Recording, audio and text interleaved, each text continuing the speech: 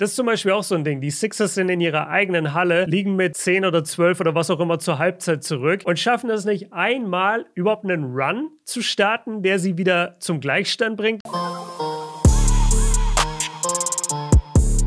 Was geht ab, Freunde? Das hier ist der Spielbericht zu Game 5 zwischen den Sixers und den Raptors. Wenn es eins gibt, was ich nicht mag in den Playoffs, ist, wenn ein Team sich nicht anstrengt, beziehungsweise wenn ein Team von der anderen Mannschaft einfach komplett outmatched wird von deren Energie. Und das passiert jetzt schon seit zwei Spielen bei den Raptors und den Sixers.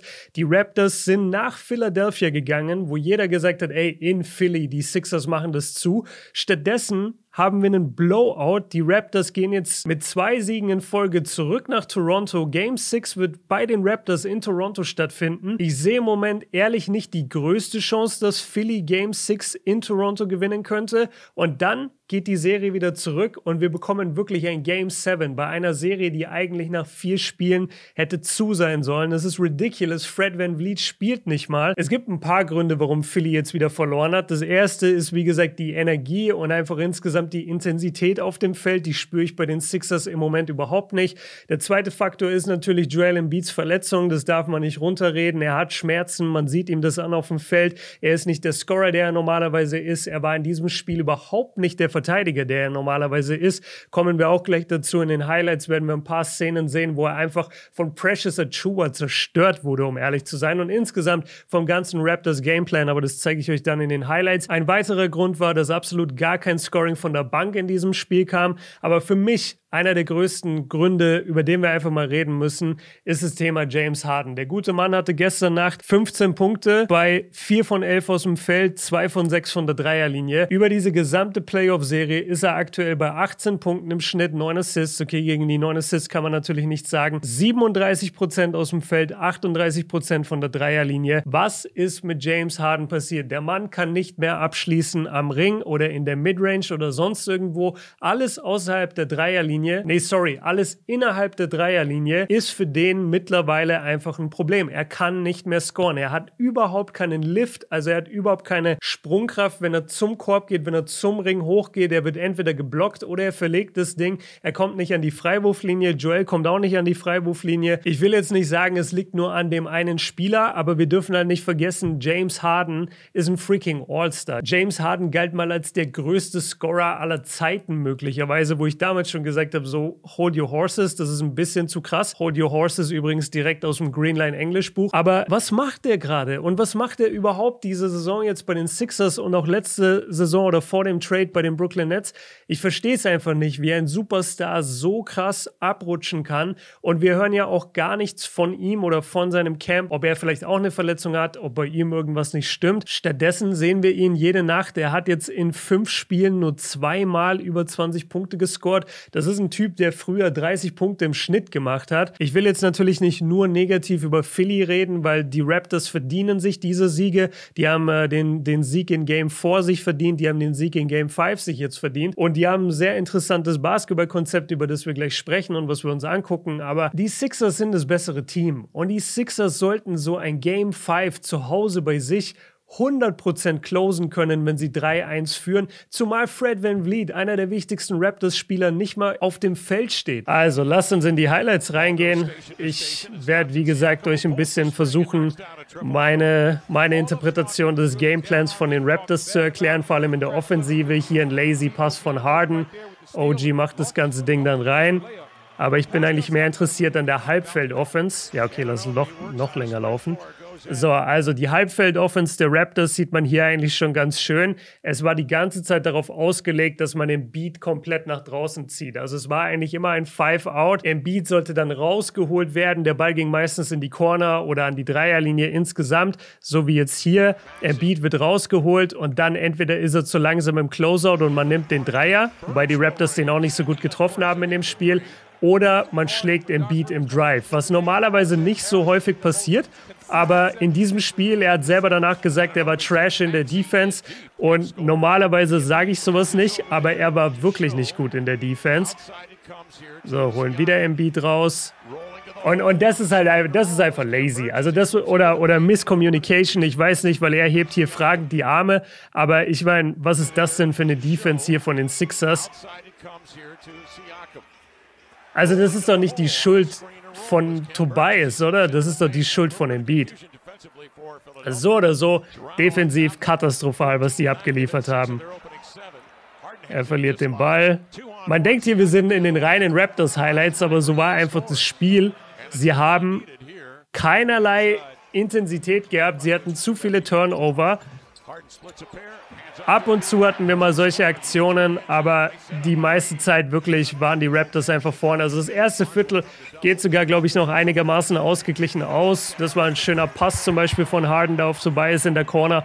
Aber im zweiten Viertel, was haben die da gemacht? 15 Punkte oder so.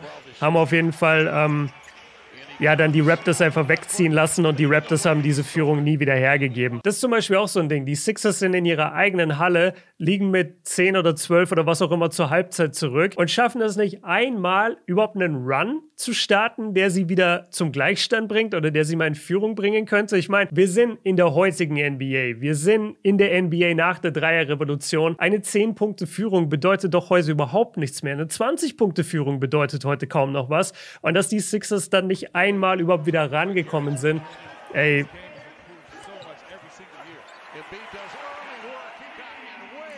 Ich, ich bin gerade echt negativ, das ist mir klar. Aber ich habe auch wirklich richtig krass was dagegen. Hier ist auch wieder das Gleiche. Man zieht Embiid raus, Precious attackiert dann. Äh, seht ihr das? Die, die haben halt hier Five Out, alle stehen draußen. Joel muss da natürlich raus. Und Precious macht einfach einen kleinen Fake und kommt dann zum Korb. Also sie, sie haben Embiid, ähm, Embiid total rausgenommen in der Defense. Offensiv, was hat er irgendwie 22 oder so, ist jetzt auch nicht die Welt. Und nach wie vor spielen die Raptors halt dieses System, über das wir geredet haben, nämlich dass sie einfach fünfmal den gleichen Spieler mehr oder weniger auf dem Feld haben. Außer Precious, der halt schon mehr in Richtung Big Man geht. Aber du hast eigentlich vier Forwards, die alle das gleiche spielen. Du hast Scotty Barnes endlich wieder, den man auch nicht unterschätzen darf, wie, wie wichtig er ist für die Raptors. Und ich habe ja gesagt, also erstes Viertel war noch einigermaßen ausgeglichen und dann kam aber der große Raptors-Run.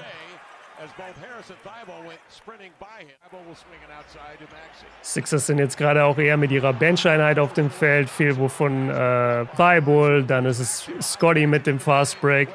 Thibault übrigens, ob er jetzt spielt oder nicht, ist eigentlich auch egal, weil er macht halt überhaupt keine Punkte. Also den einzigen Punkt, den er bekommen hat, war der, äh, wo er einen Dreier verworfen hat und dann hat Precious Achuba den aus Versehen reingetippt von den Raptors und dann wurde das zugeschrieben als Punkt für, ähm, für Thibault. Abgesehen davon hat er einfach gar kein Bucket. So, und ihr seht schon, die Raptors ziehen hier weg. Und ich weiß nicht, seht ihr jemals bei den Sixers irgendwie so, ein, so eine Emotion oder irgendwas? Oder irgendwas, was sie pusht? Oder ich weiß nicht, Mann. Ich, ich kann das nicht glauben, dass die 3-0 vorne lagen und jetzt haben wir ein 3-2 und das nächste Spiel ist in Philly. Äh, sorry, das nächste Spiel ist in Toronto.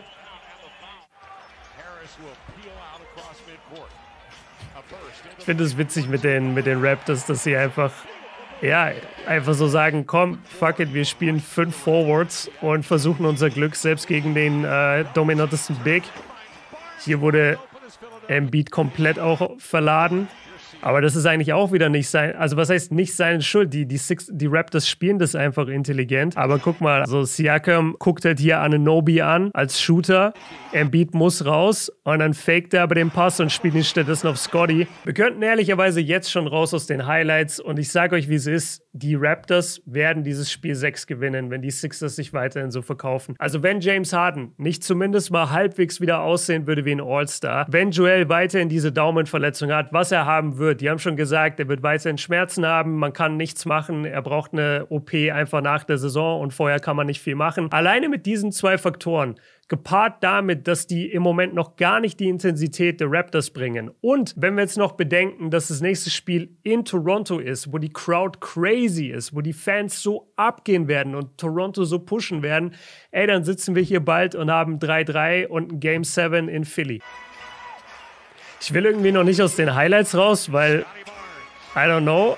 Ah, also, das machen wir normalerweise nicht. Wir können doch nicht schon noch zwei Vierteln aus den Highlights raus. Aber, also, ich weiß nicht, wie es euch Sixers-Fans ging. Ich hatte nicht das Gefühl nach der ersten Halbzeit, dass die Sixers hier irgendwas reißen könnten. mir war das eigentlich ab der Halbzeit klar, habe ich, hab ich gedacht, so, nee, das schaffen die nicht mehr, da kommen die nicht mehr hin. Danny Green, ja, aber es hat am Ende alles nicht gebracht. Pass auf, wir klicken jetzt hier einfach nur mal durch und wir schauen nur auf den Score. Ja, hier war gerade 10 Punkte Führung. Jetzt haben wir hier eine 11 Punkte Führung. Jetzt haben wir hier eine 11 Punkte Führung. Jetzt haben wir hier eine, eine was ist das?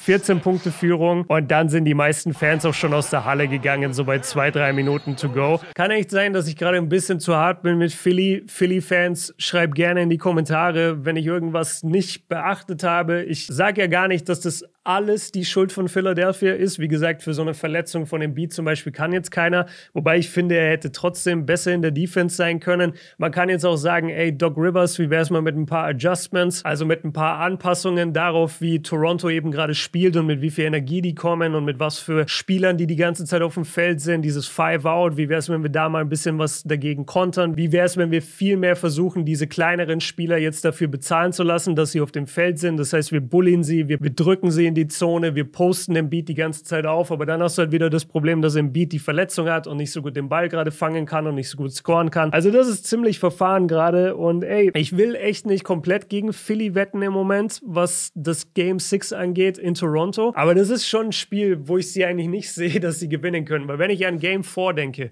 wo die Raptors 3 zu 0 zurücklagen und das war so ein Must-Win für die Raptors und sie wollen sich nicht blamieren vor ihren Fans. Was meint ihr mit was für einer geschwellten Brust die jetzt nach Toronto gehen? Die haben jetzt einfach on the road gewonnen in Philly, was keiner ihnen zugetraut hat. Jeder hat gesagt, Philly macht das Ding jetzt zu. Und jetzt gehen die nach Toronto, haben den Sieg, haben gar nichts zu verlieren, weil dann verlieren sie ja die Serie 4-2. Das ist dann auch schon Win eigentlich, wenn man 3 zu 0 oder 0 zu 3 zurücklag. Aber ich glaube, die gehen in dieses Spiel, lassen sich voll von ihren Fans tragen, spielen weiterhin genau dieses System, was sich für sie auszahlt. Und im Moment hätte ich, wenn ich Toronto bin, zum Beispiel auch keine Angst vor James Harden. Es wird ein sehr, sehr spannendes Game 6 und gar nicht spannend unbedingt vom Spielverlauf, sondern einfach oder vom Ergebnis, sondern vielmehr vom Spielverlauf und wie sich Philly verkaufen wird. Weil darauf kommt es an, mit was für einer Intensität sie da reingehen. Und wenn die dann 3-3 stehen, holy shit, ey, dann weiß ich nicht, was in Game 7 abgehen wird. Das war es jetzt aber erstmal von mir. Danke euch fürs Zuschauen, Leute, und wir sehen uns im nächsten Video. Haut rein. Peace.